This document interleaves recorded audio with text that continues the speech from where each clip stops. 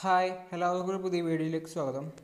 അപ്പോൾ ഇന്നത്തെ വീഡിയോയിലൂടെ നമ്മൾ പറയുന്നത് നമ്മുടെ ഫോർത്ത് സെം ബി എയിലെ അതുപോലെ തന്നെ നമ്മുടെ സെക്കൻഡ് സെം ബി കോമിലെ മാർക്കറ്റിംഗ് മാനേജ്മെന്റ് ഇതിന്റെ തേർഡ് ചാപ്റ്റർ പ്രൊഡക്റ്റാണ് അപ്പോൾ വീഡിയോയിലോട്ട് കിടക്കുന്നതിന് മുമ്പ് ഈ ചാനൽ നിങ്ങൾ ആദ്യമായിട്ടാണ് കാണുന്നതെങ്കിൽ ചാനൽ സബ്സ്ക്രൈബ് ചെയ്തേക്കുക. അതോടൊപ്പം തന്നെ ആ ബെല്ലൈക്കൺ കൂടി അമർത്തി നോട്ടിഫിക്കേഷൻ ലഭ്യമാക്കാൻ ശ്രമിക്കുക. അപ്പോൾ നമുക്ക് വീഡിയോയിലോട്ട് പോവാം. പ്രൊഡക്റ്റ് എന്ന് പറഞ്ഞാൽ എന്താ? നമ്മളിപ്പോൾ ഒരു ബിസിനസ് സ്ഥാപനം തുടങ്ങുകയാണ്. ആ ബിസിനസ് സ്ഥാപനത്തിൽ നമുക്ക് പ്രൊഡക്റ്റ് എന്ന ഒരു വസ്തു ഇല്ല. പ്രൊഡക്റ്റ് അതായത് നമ്മൾ ഫോർ പീസിൽ പ്രധാനപ്പെട്ടതാണ് പ്രൊഡക്റ്റ് അപ്പോൾ പ്രൊഡക്റ്റ് ഇല്ലെങ്കിൽ എന്ത് സംഭവം ഉണ്ടാവുക? എന്താണ് സംഭവിക്കുക? അവിടെ പ്രൈസിങ് ഉണ്ടാവില്ല ഡിസ്ട്രിബ്യൂഷൻ ഉണ്ടാവില്ല പ്രൊമോഷൻ ഉണ്ടാവില്ല അങ്ങനെ ഈ ബിസിനസ്സിന്റെ മെയിനായിട്ടുള്ള കാര്യങ്ങളൊന്നും ഉണ്ടാവില്ല. അപ്പോൾ പ്രൊഡക്റ്റ് എന്ന് പറഞ്ഞാൽ എന്താ? പ്രൊഡക്റ്റ് എന്ന് പറഞ്ഞാൽ കസ്റ്റമേഴ്സിന്റെ നീഡ്സ് അല്ലെങ്കിൽ സാറ്റിസ് കസ്റ്റമേഴ്സിന്റെ അവരുടെ നീഡ്സ് ഒക്കെ സാറ്റിസ്ഫൈ ചെയ്യാം അതിന് വേണ്ടിയിട്ടുള്ളതാണ് പ്രൊഡക്റ്റ് എന്ന് പറയുന്നത്. അതായത് ഇപ്പോൾ ഒരു ബയർക്കും ഒരു സെല്ലർക്കും ഇടയിലുള്ള ഒരു വസ്തു. ആ ഒരു വസ്തുവിന് വേണ്ടിയായിരിക്കും ഈ ബയർ ഈ സെല്ലറുടെ അടുത്തേക്ക് പോയിട്ടുണ്ടാവുക. അതാണ്. അപ്പോൾ അതിനിടയിലൊരു വസ്തു. അതിനെയാണ് പ്രൊഡക്റ്റ് എന്ന് പറയുന്നത്.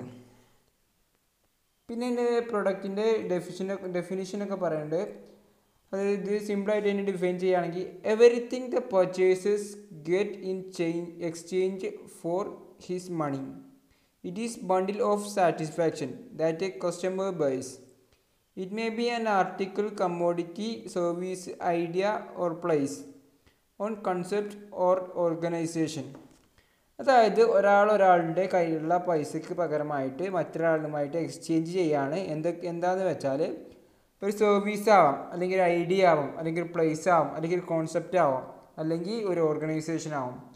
ഇങ്ങനെയുള്ള കാര്യങ്ങൾ എക്സ്ചേഞ്ച് ചെയ്യുക പണത്തിന് പകരമായിട്ട് എക്സ്ചേഞ്ച് ചെയ്യുക. അതിനെയാണ് പ്രൊഡക്റ്റ് എന്ന് പറയുന്നത്. പിന്നെ അവിടെ ലെവൽസ് ഓഫ് പ്രൊഡക്റ്റ് പറയുന്നുണ്ട്. അതായത് പ്രൊഡക്റ്റിന്റെ വിവിധ ലെവൽസ് അതായത് എല്ലാ പ്രൊഡക്റ്റിനും കുറേ ലെയേഴ്സ് ഉണ്ട്. പിന്നെ ഓരോന്നിനും ഡിഫറെന്റ് ആയിട്ടുള്ള കോൺട്രിബ്യൂട്ട്സ് ആണ് ഉള്ളത്. അതിൽ അതിൽ കുറച്ച് ലെയേഴ്സാണ് പറയുന്നത്. അതിൽ ഫസ്റ്റ് വരുന്നത് കോർ പ്രൊഡക്റ്റ് കോർ പ്രൊഡക്റ്റ് എന്താണെന്ന് പറയുന്നത് വെച്ചാൽ അവിടെ കസ്റ്റമേഴ്സിന് ഒരു കോർ ബെനിഫിറ്റാണ് കിട്ടുന്നത്. എങ്ങനെയാണ് ഇപ്പോൾ ഉദാഹരണമായിട്ട് പറയുകയാണെങ്കിൽ ഇപ്പോൾ ഞാനൊരു ഹോട്ടൽ ഒരു ഹോട്ടലിൽ ഹോട്ടലിൽ ഹോട്ടലിലേക്ക് പോവാണ്. ഹോട്ടൽ എന്തിനാണ് ഉപയോഗിക്കുക? നമ്മളിവിടെ റെസ്റ്റ് ചെയ്യാൻ അല്ലെങ്കിൽ സ്ലീപ്പ് അതുപോലെ തന്നെ ഒരു സ്പെൻഡ് ചെയ്യാൻ കുറച്ച് നേരം സ്പെൻഡ് ചെയ്യാൻ വേണ്ടി ഒരു ഹോട്ടലിൽ ഉപയോഗിക്കും. അതാണ് കോർ പ്രൊഡക്റ്റ് എന്ന് പറയുന്നത്. ഒരു ഹോട്ടലിൽ നമ്മൾ കിടക്കാൻ അതുപോലെ തന്നെ അവിടെ കുറച്ച് നേരം സ്പെൻഡ് ചെയ്യാനൊക്കെ ഉപയോഗിക്കും. സെക്കൻഡ് ഒരു ബേസിക് പ്രൊഡക്റ്റ് ബേസിക് പ്രൊഡക്റ്റ് എന്ന് പറഞ്ഞാൽ അതായത് ഇവിടെ ഒരു റൂം മാത്രമല്ല കസ്റ്റമേഴ്സ് അവിടെ ബൈ ചെയ്യേണ്ടത്. നേരത്തെ റൂം അവിടെ കുറച്ച് നേരം സ്പെൻഡ് ചെയ്യുക അത് മാത്രമേ ഉണ്ടായിരുന്നുള്ളൂ. ബേസിക് പ്രൊഡക്റ്റിൽ എന്താ ചെയ്യുന്നതെന്ന് വെച്ചാൽ അവിടെ അവിടുത്തെ ഫർണിച്ചേഴ്സ് ഇതൊക്കെ അവർ ബൈ ചെയ്യാണ്. ഉദാഹരണമായിട്ട് അവിടുത്തെ റൂമിൽ ഇൻക്ലൂഡ് ആയിട്ടുള്ള ബാത്റൂം ബെഡ്റൂം പിന്നെ towels fan table chair water ഇതൊക്കെ മൊത്തത്തിലാണ് അവർ ബൈ ചെയ്യണത്. ഇതിന് സാധാരണയായിട്ട് ജനറിക് പ്രൊഡക്റ്റ് എന്ന് പറയും. പിന്നെ എക്സ്പെക്റ്റഡ് പ്രൊഡക്റ്റ് എക്സ്പെക്റ്റഡ് പ്രൊഡക്റ്റ് എന്താണെന്ന് വെച്ചാൽ ഇപ്പോൾ കസ്റ്റമേഴ്സ് ഒരു എക്സ്പെ ഒരു ഹോട്ടലിൽ റൂം എടുക്കുമ്പോൾ ഒരു റൂം വാങ്ങുമ്പോൾ ഒരു എക്സ്പെക്റ്റ് ചെയ്യുന്നുണ്ടാവും ഒരു എന്താണ് അവർ എക്സ്പെക്റ്റ് ചെയ്യണതെന്ന് ഇപ്പോൾ ഉദാഹരണമായിട്ട് അവർ ഒരു റൂം പർച്ചേസ് ചെയ്യുമ്പോൾ ബൈ ചെയ്യുമ്പോൾ അവർ എക്സ്പെക്റ്റ് ചെയ്യുന്നുണ്ടാവും നല്ല നീറ്റ് ആയിട്ടുള്ള ബെഡ് ബെഡ് വേണം. അതുപോലെ തന്നെ ക്ലീൻ ആയിട്ടുള്ള ബാത്റൂം വേണം. ഫ്രഷ് ആയിട്ടുള്ള ടവൽസ് വേണം. അങ്ങനെ കുറേ കാര്യങ്ങൾ. ഒരു എക്സ്പെക്റ്റ് ഉണ്ട് അപ്പോൾ ഞാൻ ഞാനിപ്പോൾ ഒരു വീട് പിന്നെ നിർമ്മിക്കാകുമ്പോൾ നമ്മുടെ വീടിന്റെ പേരിൽ നമുക്ക് എക്സ്പെക്റ്റേഷൻ ഉണ്ടാവില്ല അതുപോലെ തന്നെ ഒരു ഈ ഒരു റൂമിനും ഒരു എക്സ്പെക്റ്റേഷൻ ഉണ്ടാവും അതിന്റെ അടിസ്ഥാനത്തിലാണ് എക്സ്പെക്റ്റഡ് പ്രൊഡക്റ്റ് എന്ന് പറയുന്നത് പിന്നെ ഫോർത്ത് വരുന്നത് ഓഗ്മെന്റ് പ്രൊഡക്റ്റ് ഓഗ്മെന്റഡ് പ്രൊഡക്റ്റ് എന്താ പറയുകയാണ് ഇപ്പോൾ കസ്റ്റമേഴ്സ് എക്സ്പെക്ട് ചെയ്ത് ഞങ്ങൾ കൂടുതലുള്ള സാറ്റിസ്ഫാക്ഷൻ അവർക്ക് കിട്ടാം. നേരത്തെ ഒരു എക്സ്പെക്ട് ചെയ്തിട്ടുള്ള കാര്യങ്ങൾ പറഞ്ഞാൽ നീറ്റായിട്ടുള്ള ബെഡ് വേണം ക്ലീൻ ബാത്റൂം ഫ്രഷ് ടവേഴ്സ് ഇതൊക്കെ വേണം വേണമെന്നാണ് അതിൽ ഉപരിയായിട്ട് നല്ലൊരു കളർ ടി വി അതുപോലെ തന്നെ ഷാമ്പൂ പിന്നെ room slippers room telephone air condition ഇങ്ങനത്തെ എക്സ്ട്രാ കാര്യങ്ങൾ അതായത് എക്സ്പെക്ട് ചെയ്യുന്നതിനേക്കാൾ കൂടുതലുള്ള പ്രൊഡക്റ്റുകൾക്ക് ലഭ്യമാക്കുക ലഭ്യമാവുക. ഇതിനാണ് ഓഗ്മെന്റഡ് പ്രൊഡക്റ്റ് എന്ന് പറയുന്നത് പിന്നെ പറയുന്നത് പൊട്ടൻഷ്യൽ പ്രൊഡക്റ്റ് പൊട്ടൻഷ്യൽ പ്രൊഡക്റ്റിൽ എന്താ പറയുന്നത് വെച്ചാൽ അവർ കുറച്ച് എക്സ് ഒരു എക്സാമ്പിളായിട്ട് പറയുന്നുണ്ട് അതായത് ഇതിന്റെയൊക്കെ കൂടെ ഫ്രീ ബ്രേക്ക്ഫാസ്റ്റ് അതുപോലെ തന്നെ welcome drink high speed internet ഇങ്ങനെയൊക്കെ ഈ ഹോട്ടലിൽ ലഭ്യമാക്കാം. അതായത് നമ്മുടെ ഫ്യൂച്ചറിലേക്ക് വേണ്ട ആവശ്യങ്ങൾ ലഭ്യമാക്കാം. ഇതാണ് ഈ പൊട്ടൻഷ്യൽ പ്രൊഡക്റ്റ് എന്ന് പറയുന്നത്. ഇനി പറയാൻ പോകുന്നത് പ്രൊഡക്റ്റ് കൺസെപ്റ്റ് പ്രോഡക്റ്റ് കോൺസെപ്റ്റ് എന്തെന്ന് പറയുകയാണെങ്കിൽ ഇപ്പോൾ നമ്മുടെ കസ്റ്റമേഴ്സിന് ഒരു സാധനം വിൽക്കുമ്പോൾ അവർക്ക് ഒരു ഓഗ്മെന്റ് പ്രൊഡക്റ്റ് കൊടുക്കുക. അല്ലെങ്കിൽ ഒരു അഗ്രിഗേറ്റ് സാറ്റിസ്ഫാക്ഷൻ കിട്ടുക. ഇപ്പോൾ ഉദാഹരണമായിട്ട് പറയുകയാണെങ്കിൽ ഞാനിപ്പോൾ ടെക്സ്റ്റിൽ ഒരു ഉദാഹരണം പറയുകയാണ് ഒരു സെല്ല് ചെയ്യാണ്. എന്ത് എന്തെന്ന് വെച്ചാൽ ഒരു പ്രിന്റിങ് മെഷീൻ സെല്ല് ചെയ്യാണ്. ആ പ്രിന്റിങ് മെഷീൻ സെല്ല് ചെയ്യുമ്പോൾ അവർക്ക് എക്സ്ട്രാ ആയിട്ട് ഒരു ലോങ് ടേം ക്രെഡിറ്റ് ഫെസിലിറ്റി കൊടുക്കുക. അതുപോലെ തന്നെ timely supply of spare parts കൊടുക്കുക. അങ്ങനെ അതുപോലെ തന്നെ ഗ്യാരണ്ടി കൊടുക്കുക. ഒരു ഇത്ര വർഷം ഗ്യാരണ്ടി എന്നൊക്കെ കൊടുക്കുക. ഇങ്ങനെ പിരി പീരിയോഡിക് സർവീസ് കൊടുക്കുക. ഇങ്ങനത്തെ കാര്യങ്ങളൊക്കെ എക്സ്ട്രാ കൊടുക്കുക. അതായത് ഒരു എക്സ്ട്രാ അഗ്രിഗേറ്റ് സാറ്റിസ്ഫാക്ഷൻ കസ്റ്റമേഴ്സിന് പ്രൊവൈഡ് ചെയ്യാം. ഇതാണ് പ്രൊഡക്റ്റ് കൺസെപ്റ്റിൽ പറയുന്നത് പിന്നെ അവിടെ പ്രൊഡക്റ്റിനെ ക്ലാസിഫൈ ചെയ്യേണ്ടത്. നമ്മൾ പ്രൊഡക്റ്റിനെ പ്രധാനമായിട്ടും മൂന്ന് തരത്തിലാണ് ക്ലാസിഫൈ ചെയ്യുക ഒന്ന് new non durable product non durable durable product എന്താണെന്ന് വെച്ചാൽ അതിന് കൂടുതൽ കാലയളവ് ഉണ്ടാവില്ല. ആ പ്രൊഡക്റ്റ് നമ്മൾ പെട്ടെന്ന് ബൈ ചെയ്യുന്നതായിരിക്കും. അത് പെട്ടെന്ന് നമ്മൾ യൂസ് ചെയ്യണമായിരിക്കും ഇപ്പോൾ ഉദാഹരണമായിട്ട് പറയുകയാണെങ്കിൽ നമ്മളിപ്പോൾ സോപ്പ് സോൾട്ട് ഇങ്ങനത്തെ കാര്യങ്ങളൊക്കെ ഉണ്ടാവും. ഇതൊക്കെ നമ്മൾ പെട്ടെന്ന് അതായത് നേരത്തെ തന്നെ വാങ്ങി വെക്കൂല. വാങ്ങി വെച്ചാൽ കൂടുതൽ കാലം നിൽക്കൂല. അപ്പോൾ കുറച്ച് ഏരിയ കുറച്ച് സമയത്തേക്ക് മാത്രമേ വാങ്ങണം നോൺ ഡ്യൂറബിൾ ഗുഡ്സ് പിന്നെ ഡ്യൂറബിൾ ഗുഡ്സ് നേരത്തെ പറയുന്ന നേരെ വിപരീതമായിട്ടുള്ളത് അതായത് ഉദാഹരണമായിട്ട് പറയുകയാണെങ്കിൽ റെഫ്രിജറേറ്റർ അതുപോലെ തന്നെ ക്ലോത്തിങ് മെഷീന് ഫേർണിച്ചേഴ്സ് ഇതൊക്കെ നമ്മൾ കൂടുതൽ കാലത്തിന് വേണ്ടിയിട്ടാണ് നമ്മൾ ബൈ ചെയ്യാറ്. പിന്നെ സർവീസസ് സർവീസസ് എന്ന് പറഞ്ഞാൽ അതായത് ഒരു എക്സ്ട്രാ സാറ്റിസ്ഫാക്ഷൻ കസ്റ്റമേഴ്സിന് കിട്ടുക. അതവിടെ ഒരു ടാഞ്ചിബിൾ ആയിട്ടുള്ള ഒരു വസ്തു അവിടെ ഉണ്ടാവില്ല. അതായത് ഉദാഹരണമായിട്ട് പറയുകയാണെങ്കിൽ നമ്മളിപ്പോൾ ഹെയർ കട്ട് ചെയ്യുക നമുക്കൊരു എക്സ്ട്രാ ഒന്നും കിട്ടണമെന്നില്ല. ഒരു സർവീസ് സർവീസാണത് പിന്നെ റിപ്പയർ അതുപോലെ തന്നെ ട്രെയിൻ ജേണി അതുപോലെ തന്നെ മറ്റ് സർവീസസൊക്കെ ഇതൊക്കെയാണ് സർവീസസിൽ വരുന്നത്. ഇനി പറയുന്നത് നമ്മുടെ ഈ കൺസംഷന്റെ അടിസ്ഥാനത്തിൽ നമ്മുടെ ഈ കൺസ്യൂമർ ഗുഡ്സും അതുപോലെ തന്നെ ഇൻഡസ്ട്രി ഗുഡ്സ് അത് തരംതിരിക്കുന്നുണ്ട്.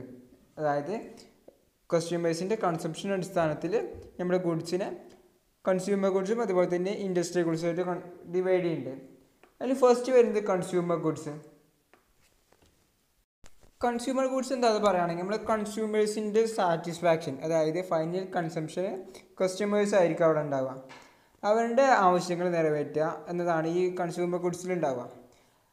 അതായത് അവർക്കായിരിക്കും ഇതിന്റെ ഫൈനൽ കൺസംഷൻ ഉണ്ടാവുക. ഇനി ഒരു നെക്സ്റ്റ് ആൾക്കാർ മാറ്റം അല്ലെങ്കിൽ കൈമാറ്റം ചെയ്യാനൊന്നും ആ പ്രൊഡക്റ്റ് പറ്റില്ല. ഇപ്പോൾ ഉദാഹരണമായിട്ട് പറയുകയാണെങ്കിൽ rice potato milk pulses detergent toothpaste blade shoe pen ഇങ്ങനത്തെ കാര്യങ്ങളൊക്കെ ഒരു കൺസ്യൂമർ ഗുഡ്സാണ് ഇനി കൺസ്യൂമർ ഗുഡ്സിന്റെ ക്യാരക്ടറിക്സ് ഒക്കെ പറയുന്നുണ്ട്. ഇതിൽ ഫസ്റ്റ് വരുന്നത് ഫൈനൽ കൺസംഷൻ പിന്നെ ഫിനിഷ്ഡ് ഗുഡ്സ് പിന്നെ യൂട്ടിലിറ്റി അതായത് കസ്റ്റമേഴ്സിന്റെ നീഡ്സ് സാറ്റിസ്ഫൈ ചെയ്യാനാണ് ഈ നമ്മൾ ഈ കൺസ്യൂമർ ഗുഡ്സ് ഉപയോഗിക്കുന്നത്. അതാണ് യൂട്ടിലിറ്റി എന്ന് പറയുന്നത്.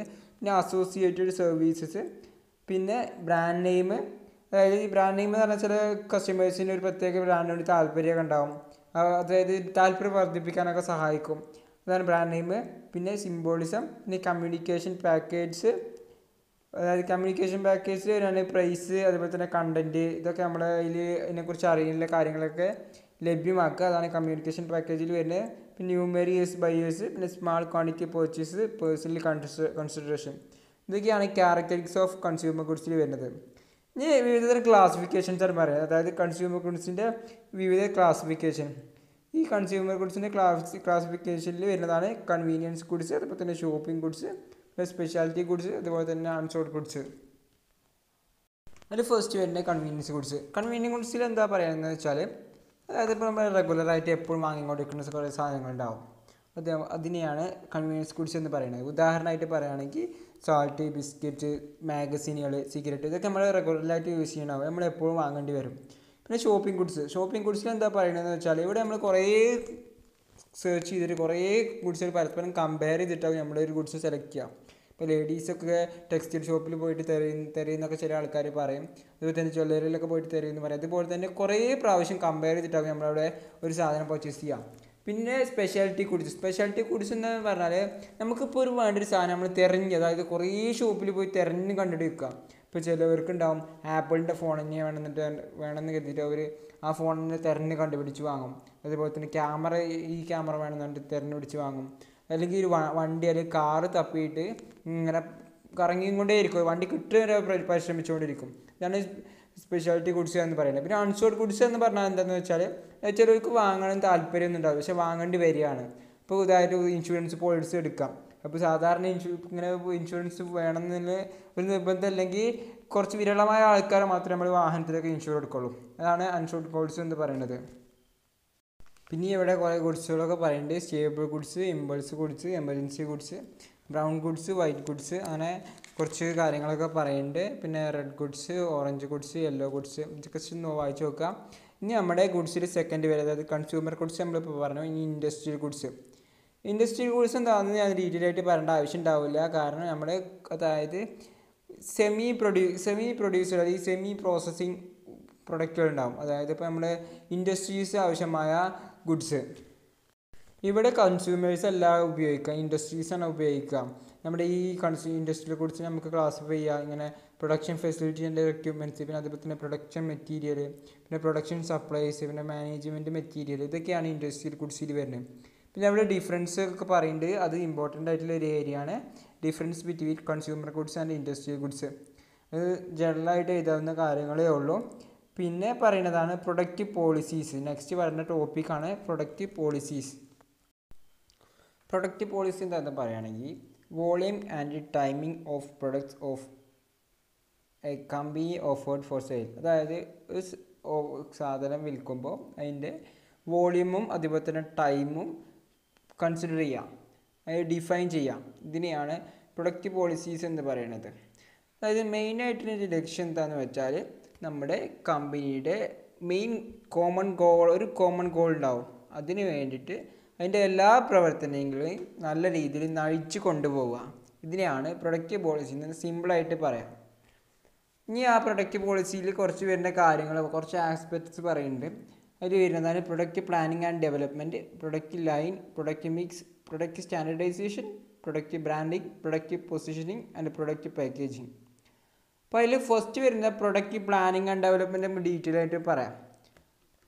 അപ്പോൾ പ്രൊഡക്റ്റ് പ്ലാനിങ് ആൻഡ് ഡെവലപ്മെന്റ് ആദ്യം നമുക്ക് പ്രൊഡക്റ്റ് പ്ലാനിങ് എന്താണെന്ന് പറയാം.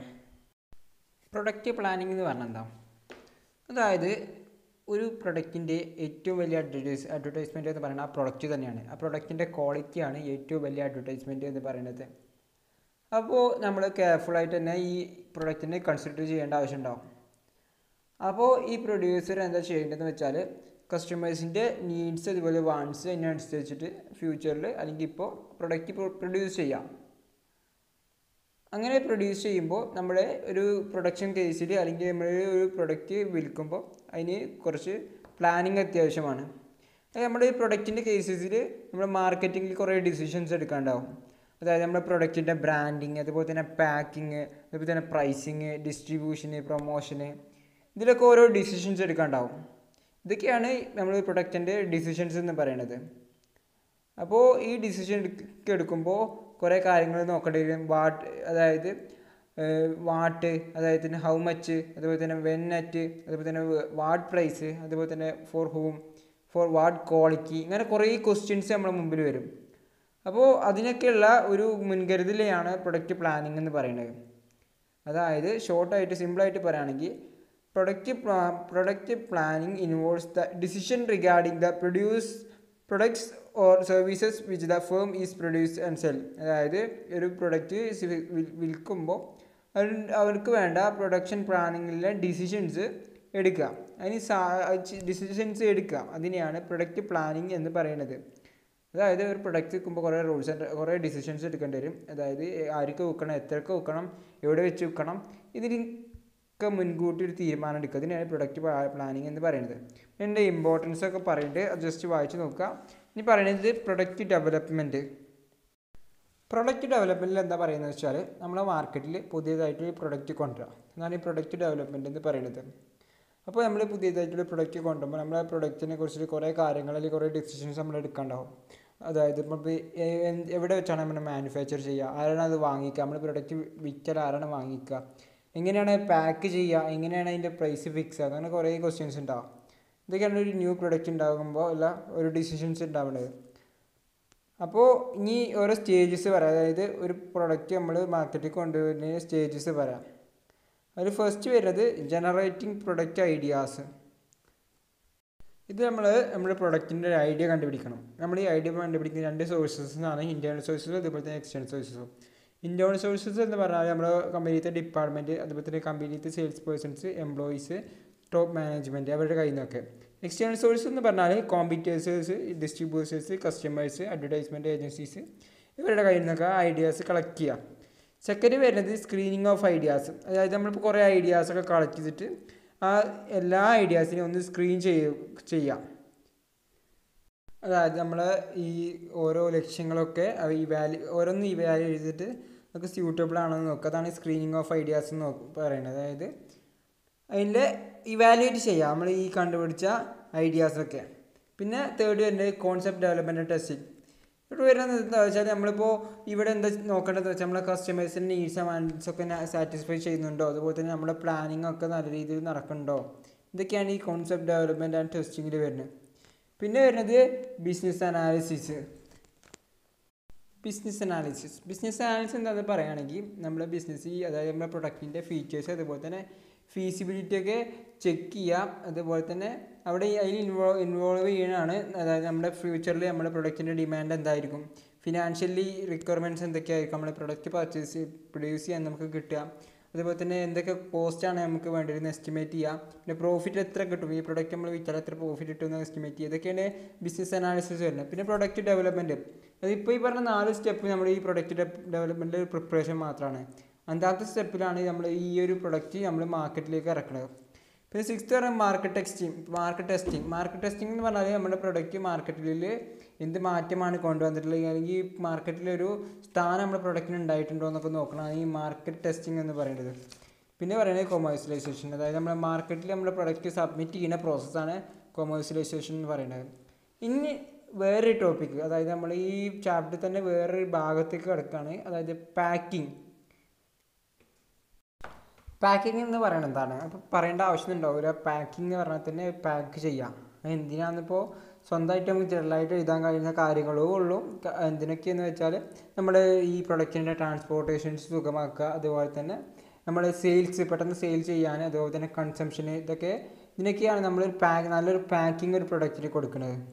അതിപ്പോൾ നമ്മൾ പാക്ക് ചെയ്യുന്നത് ചിലപ്പോൾ ഒരു ബോട്ടിലാവാം. അതായത് ഇപ്പോൾ ഡ്രിങ്കൊക്കെ നമ്മൾ ബോട്ടിലാണ് നമ്മൾ പാക്ക് ചെയ്യൽ അതുപോലെ തന്നെ ടിന്ന് ജാറ് ബാഗ് ഇതിലൊക്കെയാണ് സാധാരണ നമ്മൾ നോർമൽ പ്രൊഡക്ട്സൊക്കെ നമ്മൾ പാക്ക് ചെയ്യാറ്. അപ്പോൾ എന്തിനാന്ന് വെച്ചാൽ ട്രാൻസ്പോർട്ടേഷനും അതുപോലെ തന്നെ കസ്റ്റമേഴ്സിന്റെ കൺസംഷനും അതുപോലെ തന്നെ സെയിൽസിനൊക്കെയാണ് നമ്മൾ അതിനൊക്കെ ഹെൽപ്പ് ചെയ്യാൻ വേണ്ടിയിട്ട് നമ്മൾ പാക്ക് ചെയ്യുന്നതാണ് പാക്കിംഗ് എന്ന് പറയുന്നത്.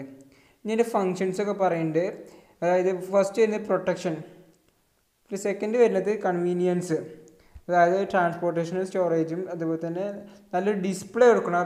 പ്രൊഡക്റ്റ് ഒരു പ്രൊഡക്റ്റിന് പ്രൊമോഷൻ തന്നെ കൊടുക്കണം. അതാണ് തേർഡ് വരുന്ന പോയിന്റ് പ്രൊമോഷൻ പിന്നെ ഫോർത്ത് ഐഡന്റിഫിക്കേഷൻ അതായത് ഒരു മാർക്കറ്റിൽ അല്ലെങ്കിൽ ഒരു ഷോപ്പ് നമുക്ക് പ്രൊഡക്റ്റിന് പെട്ടെന്ന് ഐഡന്റിഫൈ ചെയ്യാൻ നമുക്ക് ഈ പാക്കിംഗ് കൊണ്ട് ശരിയാ കട മനസ്സിലാവുന്നു. പിന്നെ ഹെൽപ്പ് ഇൻ ബ്രാൻഡിങ് ബ്രാൻഡിങ്ങിന് സഹായിക്കണം എന്നാണ് നമ്മൾ ഈ പാക്കിംഗ് എന്ന് പറയുന്നത്. ഇപ്പോൾ ഒരു പാക്ക് കണ്ടാൽ തന്നെ നമ്മളിപ്പോൾ എപ്പോഴും വാങ്ങുന്ന ഒരു പ്രൊഡക്റ്റ് ആണെങ്കിൽ നമ്മൾ പാക്ക് കണ്ടാൽ തന്നെ നമുക്ക് മനസ്സിലാവുണ്ടാവും. പിന്നെ ഇൻഫോർമേഷൻ അതായത് പ്രൊഡക്റ്റിനെ കുറിച്ചുള്ള മുഴുവൻ ഇൻഫോർമേഷനും വാലിഡിറ്റി ഡേറ്റ് നമ്മൾ എല്ലാ കാര്യങ്ങളും പാക്കിങ്ങിൽ ഇൻക്ലൂഡ് ആയിട്ടുണ്ടാവും. പിന്നെ അഡ്വാന്റേജസ് പറയുന്നുണ്ട് marker മാർക്കറ്റിലേക്കുള്ള advantages protect the products from being damaged or spoiled promotes product facilitate storage and transportation help in branding enhance goodwill act as silent salesman advantages of middleman facilitate transportation and storage easy to display keeps product from fresh and clean safe self advertising പിന്നെ കസ്റ്റമർക്ക് advantage പറയുന്നത് convenient handling less possibility of adulteration information regarding use to upkeep easy identification പിന്നെ good പിന്നെ അതിന്റെ next പറയുന്നതാണ് requisites of a good package അതായത് ഒരു നല്ലൊരു പാക്കേജിലുള്ള ഗുണങ്ങൾ എന്തൊക്കെയാണെന്ന് പറയുന്നത്. A package should shoot the product it must protect the contents it must meet requirements of different segment of customers who have different levels of income it must be attra- attra- attractive it must be durable it cost should be reasonable സിമ്പിളായിട്ട് കാര്യങ്ങളോ ഇനി next ഇപ്പോൾ നമ്മൾ packing പറഞ്ഞു ഇനി next പറയുന്നതാണ് branding branding എന്ന് പറഞ്ഞാൽ എന്താ അല്ലെങ്കിൽ ബ്രാൻഡ് എന്ന് പറഞ്ഞാൽ എന്താ ബ്രാൻഡ് എന്ന് പറയുകയാണെങ്കിൽ ഇപ്പോൾ ഒരു ബ്രാൻഡിൽ നമുക്ക് പല ആൾക്കാരും പറഞ്ഞു ഞാൻ ആ ബ്രാൻഡാണ് ഉപയോഗിക്കുന്നത് ഈ ബ്രാൻഡാണ് ഉപയോഗിക്കുന്നത് എന്നൊക്കെ ബ്രാൻഡ് എന്ന് പറഞ്ഞാൽ ഇപ്പോൾ ഒരു കോമ്പി കുറേ കോമ്പറ്റേഴ്സിന്റെ ഇടയിൽ നിന്ന് ഒരു പ്രത്യേക ഒരു സെല്ലറിന്റെ പ്രൊഡക്റ്റ് ഐഡന്റിഫൈ ചെയ്യാനാണ് നമ്മൾ ബ്രാൻഡ് എന്ന് ഉപയോഗിക്കുന്നത് ബ്രാൻഡ് എന്ന വേർഡ് ഉപയോഗിക്കുന്നത് ആ പ്രൊ പ്രൊഡക്റ്റ് ഏതാണെന്ന് ഐഡന്റിഫൈ ചെയ്യാൻ അല്ലെങ്കിൽ ആ സർവീസ് ഏതാണെന്ന് ഐഡന്റിഫൈ ചെയ്യാം അതിനെയാണ് ബ്രാൻഡ് എന്ന് പറയുന്നത് പിന്നെ അതിന്റെ മറ്റൊരു കാര്യം പറഞ്ഞാൽ ബ്രാൻഡ് നെയിം പറയുന്നുണ്ട്. അതായത് ബ്രാൻഡിങ്ങിൽ വരുന്നതാണ് ഈ പോയിന്റ്സ് ഒക്കെ. Brand brand name brand mark branding trademark ഇതൊക്കെ ഈ ബ്രാൻഡിങ് എന്ന സെക്ഷനിൽ വരികയാണ് വരുന്നതാണ്. അതായത് നമ്മുടെ പ്രൊഡക്റ്റിനെ ഐഡന്റിഫൈ ചെയ്യുക. അല്ലെങ്കിൽ അതിനൊരു പേര് കൊടുക്കുക. പേര് ഒരു പേര് കിട്ടുക. ഇതിനെയാണ് ബ്രാൻഡിങ് പറയുന്നത്. അപ്പോൾ ബ്രാൻഡ് എന്താണെന്ന് പറഞ്ഞു? ഒരു കുറേ കുറേ കോമ്പറ്റീഷൻസിന്റെ അടിയിൽ നിന്ന് ഒരു സെല്ലറിന്റെ പ്രൊഡക്റ്റ് ഐഡന്റിഫൈ ചെയ്യാൻ ചെയ്യുന്നതിനെയാണ് ബ്രാൻഡ് എന്ന് പറയുന്നത്. അത് നമ്മൾ മാത്തമെറ്റിക്കലി പറയുകയാണെങ്കിൽ brand is equal to quality plus image plus price അതായത് പ്രൊഡക്റ്റിന്റെ ക്വാളിറ്റിയും അതിന്റെ ഇമേജും അതുപോലെ തന്നെ അതിന്റെ പ്രൈസ് കൂടിയതാണ് ഒരു പ്രൊഡക്റ്റിന്റെ ബ്രാൻഡ് എന്ന് പറയുന്നത്. പിന്നെ ബ്രാൻഡ് നെയിം അതായത് ബ്രാൻഡ് നെയിം എന്ന് പറയുന്നത് ഈ ബ്രാൻഡിന്റെ പാർട്ടാണ് അത് നമ്മൾ ലെറ്റേഴ്സായിട്ട് ഇൻക്ലൂഡ് ചെയ്യും. അതായത് ഇപ്പോൾ പേരൊക്കെ കൊടുക്കും. ഇപ്പോൾ H M T H M T അതുപോലെ തന്നെ അങ്ങനെ ഓരോ ഉഷ ഫാൻസ് ഉഷ ഫാൻസ് ഒക്കെ ഉണ്ടാവും. അതായത് പ്രത്യേക ഒരു ഉഷ ഫാൻസ് എന്ന് പറയുമ്പോൾ തന്നെ നമ്മൾ മനസ്സിൽ ആ ഫാനിന്റെ കമ്പനീനെ കുറിച്ച് അറിവ് വരും. അപ്പോൾ അതാണ് ബ്രാൻഡ് ഓരോ ബ്രാൻഡിന്റെ നെയിം കൊടുക്കാൻ തന്നെയാണ് ബ്രാൻഡ് നെയിം എന്ന് പറയുന്നത്. പിന്നെ ബ്രാൻഡ് മാർക്ക് ബ്രാൻഡ് മാർക്ക് എന്താണെന്ന് പറഞ്ഞാൽ അതായത് ഈ ബ്രാൻഡ് വരുന്നതിന്റെ പ്രത്യേക ഒരു മാർക്കായിട്ട് കൊടുക്കുക. അപ്പോൾ ഒരു സിമ്പിളായിട്ട് കൊടുക്കുക. അപ്പോൾ പ്യൂമന്റെ സിമ്പിൾ ഓഡിഡാസിന്റെ സിമ്പിൾ അങ്ങനെ ഓരോരോ സിമ്പിൾസ് ഉണ്ടാവും. അതാണ് ബ്രാൻഡ് മാർക്ക് എന്ന് പറയുന്നത്. പിന്നെ പറയുന്നത് ബ്രാൻഡിങ് ബ്രാൻഡിങ് എന്നാന്ന് പറയുകയാണെങ്കിൽ നമ്മുടെ പ്രൊഡക്റ്റ് ഏത് രീതിയിലാണ് ജനങ്ങൾക്കിടയിൽ അറിയപ്പെടുന്നത്. അല്ലെങ്കിൽ ആ പ്രൊഡക്റ്റിന് ഒരു ഫെമിലിയർ ആണ് എങ്ങനെ? ഈ പ്രൊഡക്റ്റ് പബ്ലിക്കിനിടയിൽ ഫെമിലിയർ ആണ് എങ്ങനെ? അതിനെയാണ് ബ്രാൻഡിങ് എന്ന് പറയുന്നത്. പിന്നെ ട്രേഡ് മാർക്ക് പറയുന്നുണ്ട്. ട്രേഡ് മാർക്ക് എന്താണെന്ന് പറയുകയാണെങ്കിൽ ഇപ്പോൾ ഒരു പ്രൊഡക്റ്റ് അല്ലെങ്കിൽ ഒരു ബ്രാൻഡുകൾ നമ്മൾ സെയിലൊക്കെ ചെയ്യും. അല്ലെങ്കിൽ പ്രൊഡക്റ്റ് സെയിൽ ചെയ്യും. അങ്ങനെ ആ പ്രൊഡക്റ്റിന് നല്ല ബ്രാൻഡിങ് ഒക്കെ കിട്ടിയാൽ ആ കമ്പനീസ് അവർ ഒരു മാർക്കറ്റിൽ അല്ലെങ്കിൽ ഒരു രീതിയിൽ രജിസ്റ്റർ ചെയ്യും. അപ്പോൾ ഈ രജിസ്റ്റർ ചെയ്താൽ ഒരു അവർക്ക് ട്രേഡ് മാർക്കായി അതായത് അവർക്ക് വേണ്ട അതിന് മുഴുവൻ അവകാശവും അവർക്കായി. മറ്റുള്ള മറ്റുള്ള ആരെങ്കിലും ആ പ്രൊഡക്റ്റ് ഉൽപ്പാദിപ്പിച്ചാൽ ഉൽപ്പാദിപ്പിച്ചാൽ അതിനൊക്കെ ഇതിൽ കേസ് എടുക്കാനൊക്കെ പറ്റും. രജിസ്റ്റേർഡ് ട്രേഡ് മാർക്കുണ്ട് കൊണ്ട് സാധാ ട്രേഡ് മാർക്കുണ്ട് കൊണ്ട്. പിന്നെ ബ്രാൻഡും അതുപോലെ തന്നെ ട്രേഡ് മാർക്കും തമ്മിലുള്ള ഡിഫറൻസ് പറയുന്നുണ്ട് അത് നോക്കി നോക്കുക പിന്നെ ബ്രാൻഡിങ്ങിന്റെ ഒബ്ജക്റ്റീവ്സും റീസൺസും ഒക്കെ പറയുന്നുണ്ട് പിന്നെ അതിന്റെ എസെൻഷ്യൽസ് ക്യാരക്ടറിക്സ് ഒക്കെ പറയുന്നുണ്ട് പിന്നെ അതിൽ ടൈപ്സ് ഓഫ് ബ്രാൻഡ്സ് പറയുന്നുണ്ട് അതായത് വിവിധ തരം ബ്രാൻഡ്സ് ഒന്ന് മാനുഫാക്ചർ ബ്രാൻഡ്സ് ഈ മാനുഫാക്ചർ ബ്രാൻഡ്സ് എന്ന് പറയുന്നത് ഇത് ഈ ബ്രാൻഡ്സ് ഡെവലപ്പ് ചെയ്ത് ഓണേഴ്സ് അല്ലെങ്കിൽ പ്രൊഡ്യൂസേഴ്സ് ആയിരിക്കും. അതായത് അവർ അതിൽ ഇൻക്ലൂഡ് ആയതാ ഇൻക്ലൂഡ് ആയതാണ് ഡിസ്ട്രിബ്യൂഷൻസ് പ്രൊമോഷൻസ് അതുപോലെ തന്നെ പ്രൈസ് ഡിസിഷൻസ് അതുപോലെ തന്നെ മറ്റ് ബ്രാൻഡിന്റെ മറ്റ് കാര്യങ്ങൾ ഇതൊക്കെ ഈ മാനുഫാക്ചർ ബ്രാൻഡ്സിൽ വരുന്നതാണ്. അതായത് എന്തിനാണെന്ന് വെച്ചാൽ നമ്മുടെ കൺസ്യൂമേഴ്സിന് പ്രൊഡക്റ്റ് ഐഡന്റിഫൈ ചെയ്യാനാണ് ഈ മാനുഫാക്ചർ ബ്രാൻഡ് ഉപയോഗിക്കുന്നത് അതായത് ഏത് എവിടെ നിന്നാണ് ഇത് മാനുഫാക്ചർ ചെയ്തിരിക്കുന്നത് ഐഡന്റിഫൈ ചെയ്യാൻ. ഇപ്പോൾ ഉദാഹരണമായിട്ട് പറയുകയാണെങ്കിൽ ഒരു ആപ്പിൾ കമ്പ്യൂട്ടർ സെക്കൻഡ് പറയുന്നത് പ്രൈവറ്റ് ഡിസ്ട്രിബ്യൂഷൻ ബ്രാൻഡ് അതായത് ഈ ബ്രാൻഡ് ബ്രാൻഡിന്റെ ഓണർമാരാണ് ഹോൾസെയിലേഴ്സ് അല്ലെങ്കിൽ റീറ്റെയിലേഴ്സ് റീറ്റെയിലേഴ്സാണ് പിന്നെ പറയണത് ജനറിക് ബ്രാൻഡ് പിന്നെ ഫാമിലി ബ്രാൻഡ് പിന്നെ ഇൻഡിവിജ്വൽ ബ്രാൻഡ് പിന്നെ കോ ബ്രാൻഡ് ലൈസൻസ്ഡ് ബ്രാൻഡ് അതായത് ഈ ലൈസൻസ്ഡ് ബ്രാൻഡാണ് നമ്മൾ ട്രെൻഡായിട്ടുള്ള ഒന്ന് അവിടെ ഈ ബ്രാൻഡിന്റെ ലൈസൻസും മാർക്ക് ലൈസൻസിങ് ഉണ്ടാവും ഒരു മാർക്കൊക്കെ ഉണ്ടാവും. അതായത് അതിന് എതിരെ ആർക്കും പ്രവർത്തിച്ച് അതിനെതിരെ അവർക്ക് കേസ് എടുക്കാനൊക്കെ പറ്റും. ഇതാണ് ലൈസൻസിന്റെ ബ്രാൻഡ് എന്ന് പറയുന്നത്. പിന്നെ അതിന്റെ ഇമ്പോർട്ടൻസും അഡ്വാന്റേജും ഒക്കെ പറയുന്നുണ്ട്. പിന്നെ അഡ്വാന്റേജസ് ഓഫ് മാനുഫാക്ചറേഴ്സ് അതായത് ബ്രാൻഡിങ് കൊണ്ട് മാനുഫാക്ചേഴ്സ് കിട്ടുന്ന മാനുഫാക്ചേഴ്സിന് കിട്ടുന്ന അഡ്വാന്റേജസ് പറയുന്നുണ്ട്. പിന്നെ കസ്റ്റമേഴ്സിന് കിട്ടുന്ന അഡ്വാന്റേജസ് പറയുന്നുണ്ട്. പിന്നെ ഡിസ്ട്രിബ്യൂട്ടേഴ്സിന് കിട്ടുന്ന അഡ്വാന്റേജസ് പറയുന്നുണ്ട്. ലിമിറ്റേഷൻസ് ഒക്കെ പറയുന്നുണ്ട് ഈ അഡ്വാന്റേജസ് ഒക്കെ നമുക്ക് ജനറലായിട്ട് എഴുതാവുന്ന കാര്യങ്ങളോ ഡിസീസ് ലിമിറ്റേഷൻസിൽ എക്സ്പെൻസീവ് എക്സ്പെൻസീവ് എക്സ്പെൻസീവ് ആണ്. അതുപോലെ തന്നെ ഇത് പെട്ടെന്ന് റീബിൽഡ് ചെയ്യാൻ റെപ്യൂട്ടേഷനൊക്കെ കുറച്ച് റിസ്ക് ആണ്. അതുപോലെ തന്നെ ഇത് കുറച്ച് ഡിസ്കവർ ഡിസ്കറേജ് ആയതാണ് കസ്റ്റമേഴ്സിന് അതായത് അവർ ന്യൂ ബ്രാൻഡ്സ് ഇങ്ങനെ തിരഞ്ഞ് കണ്ടുപിടിച്ച് ഇങ്ങനെ പോകും അപ്പോൾ അവരുടെ സാറ്റിസ്ഫാക്ഷൻ തന്നെ സാറ്റിസ്ഫാക്ഷൻ അവർ കാര്യങ്ങൾ താല്പര്യം കൂട്ടാൻ കൊടുക്കാതെ ബ്രാൻഡിനെ തിരഞ്ഞപ്പോൾ കുറച്ച് ലിമിറ്റേഷൻസ് ഒക്കെ അവിടെ പറയുന്നുണ്ട്. പിന്നെ ബ്രാൻഡിങ്ങും അതുപോലെ തന്നെ ഗ്രേഡിങ്ങിന്റെയും ഡിഫറൻസ് പറയുന്നുണ്ട്. അപ്പോൾ ഇനി നെക്സ്റ്റ് പറയുന്നതാണ് product life cycle product life cycle പറയുന്നത് നമ്മൾ ഹ്യൂമൻ ലൈഫ് സൈക്കിൾ പറയാം. ഹ്യൂമൻ ലൈഫ് ലൈഫ് സൈക്കിൾ എന്താണ്? ബർത്ത് അതുപോലെ തന്നെ ഓരോ ഘട്ടങ്ങൾ കഴിഞ്ഞിട്ട് അവസാനം നമ്മൾ ഡൈ ആവണം മരണപ്പെടണം. അതുപോലെ തന്നെ എല്ലാ പ്രൊഡക്റ്റിനും ഉണ്ട് ഒരു ലൈഫ് സൈക്കിൾ അപ്പോൾ ആ ലൈഫ് സൈക്കിളിന്റെ ഒരു സ്റ്റേജസ് ആണ് ഇനി പറയുന്നത്. അതായത് product life life cycle stages അതിൽ ഫസ്റ്റ് വരുന്നത് ഇൻട്രൊഡക്ഷൻ ഇൻട്രൊഡക്ഷനിൽ എന്താണ് സംഭവിക്കുന്നത് ഇൻട്രൊഡക്ഷനിൽ നമ്മൾ മാർക്കറ്റിൽ ഒരു പ്രൊഡക്റ്റ് ഇൻട്രൊഡ്യൂസ് ചെയ്യണം. ആ ഇൻട്രൊഡ്യൂസ് ചെയ്യുന്ന സമയത്ത് നമുക്ക് ആ പ്രൊഡക്റ്റിന് കുറച്ച് മാത്രമേ സെയിൽസ് ഉണ്ടാവുള്ളൂ ലോ സെയിൽസ് ഉണ്ടാവുള്ളൂ അതുപോലെ തന്നെ കുറച്ച് പ്രോഫിറ്റ് ഉണ്ടാവുള്ളൂ അതുപോലെ തന്നെ നമുക്ക് പ്രൊമോഷണൽ എക്സ്പെൻസസ് കൂടും. കാരണം നമ്മൾ പ്രൊഡക്റ്റ് എല്ലാവരും അറിയണമല്ലോ പബ്ലിക് സ്വീകരിക്കണമല്ലോ അപ്പോൾ കൂടുതൽ പ്രൊമോഷണൽ എക്സ്പെൻസസ് വരും. പിന്നെ ഹൈ പ്രൈസ് ആയിരിക്കും. അതുപോലെ തന്നെ കുറച്ച് കോമ്പറ്റീഷൻ കുറവായിരിക്കും. നമ്മുടെ പ്രൊഡക്റ്റ് അറിയപ്പെടാത്തതുകൊണ്ട് കോമ്പറ്റീഷൻ കുറവായിരിക്കും. ഇതാണ് ഇൻട്രൊഡക്ഷൻ സ്റ്റേജ് പിന്നെ ഗ്രോത്ത് സ്റ്റേജ് അതായത് നമ്മൾ ഇൻട്രൊഡക്ഷൻ സ്റ്റേജിൽ നിന്നുള്ള നെക്സ്റ്റ് സ്റ്റെപ്പാണ് ഗ്രോത്ത് സ്റ്റേജ് ഇവിടെ നമ്മൾ പ്രൊഡക്റ്റ് പല ആൾക്കാരും അറിയാൻ തുടങ്ങണം നമ്മൾ പല ആൾക്കാരും അറിയാൻ തുടങ്ങുമ്പോൾ നമ്മുടെ സെയിൽസ് ഇങ്ങനെ വർദ്ധിച്ചുകൊണ്ടേയിരിക്കും. അപ്പോൾ നമ്മൾ സെയിൽസ് വർദ്ധിക്കുമ്പോൾ നമ്മൾ പ്രൊഡക്ഷൻ ഇങ്ങനെ കൂട്ടേണ്ടി വരും. അപ്പോൾ നമ്മൾ പ്രൊഡക്റ്റിന്റെ പ്രൊഡക്ഷനും ഇങ്ങനെ എക്സ്പാൻഡ് ചെയ്തുകൊണ്ടിരിക്കും. അപ്പോൾ നമ്മൾ പ്രോഫിറ്റ് ഇങ്ങനെ വർദ്ധിച്ചുകൊണ്ടിരിക്കും. അതുപോലെ തന്നെ നമ്മുടെ ഈ കോസ്റ്റ് കുറഞ്ഞു. Lower cost unit unit cost കുറഞ്ഞു വരും. കാരണം നമ്മൾ സെയിൽസ് കൂടുന്നുണ്ട് പ്രോഫിറ്റ് കൂടുതലുണ്ടല്ലോ. അപ്പോൾ യൂണിറ്റ് കോസ്റ്റ് കുറഞ്ഞുകൊണ്ടേയിരിക്കും. പക്ഷേ അവിടെ മറ്റൊന്ന് കാര്യം എന്താ വെച്ചാൽ കോമ്പറ്റീഷൻ വർദ്ധിച്ചുകൊണ്ടിരിക്കും. നമ്മുടെ പ്രൊഡക്റ്റിന് ഡിമാൻഡ് കൂടുമ്പോൾ നമ്മുടെ കോമ്പറ്റീഷൻ വർദ്ധിച്ചിരിക്കും. അതുപോലെ തന്നെ പ്രൈസും അതുപോലെ തന്നെ നമുക്ക് കുറക്കേണ്ടി വരും. സ്റ്റേബിൾ ആക്കണമെങ്കിൽ റിഡ്യൂസ് ചെയ്യേണ്ടി വരും.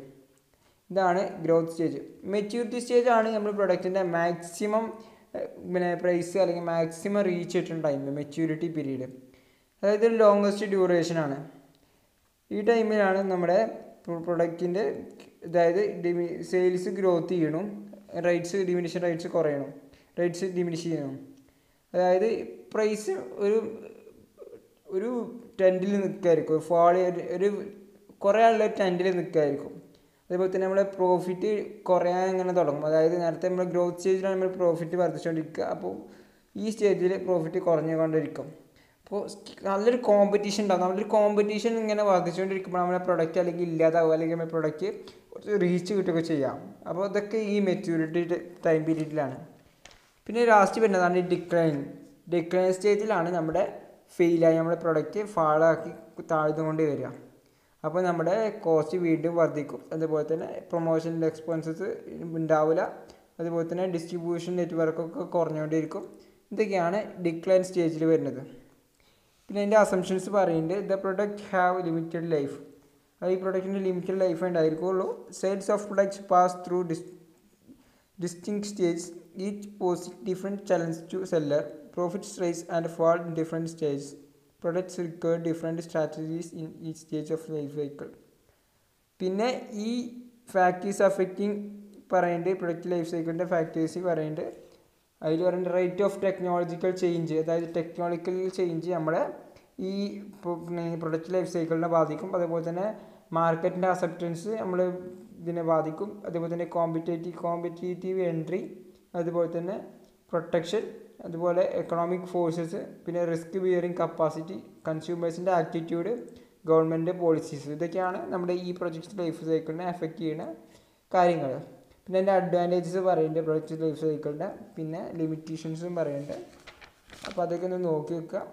പിന്നെ ലാസ്റ്റ് പിന്നെ വരുന്നതാണ് after sale service after sale സർവീസിൽ എന്താ പറയുന്നത് വെച്ചാൽ നമ്മൾ പ്രൊഡക്റ്റ് വിറ്റാലും നമ്മുടെ അവിടെ ഈ സെല്ലേഴ്സിന്റെ ബാധ്യത തീരുന്നില്ല. അല്ലെങ്കിൽ നമ്മൾ മാനുഫാക്ചറേഴ്സിന്റെ ബാധ്യത തീരുന്നില്ല. ഇവിടെ കുറച്ച് ആഫ്റ്റർ സെയിൽ സർവീസ് അവർ ചെയ്യുന്നുണ്ട്. അതായത് എന്നാലും നമ്മുടെ മാർക്കറ്റിൽ നമ്മൾ പ്രൊഡക്റ്റ് പിടിച്ച് നിൽക്കാൻ കഴിയുള്ളൂ. ആഫ്റ്റർ സർവീസ് സർവീസൊക്കെ കൊടുത്താൽ മാത്രമേ ഉള്ളൂ.